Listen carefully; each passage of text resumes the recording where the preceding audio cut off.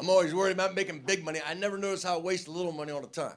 Like I can't, you know, I can't believe I still have a landline. We have a landline in the house. I mean, a landline. Not only do I have a landline, but I gotta get one with all the options. I gotta get one with all the bells and whistles. Got to get things like I got like I got like call forwarding. What about call forward? I don't go anywhere. Call forward to another room in the house. Where am I call forward to? Three way. I've never three wayed anything in my life.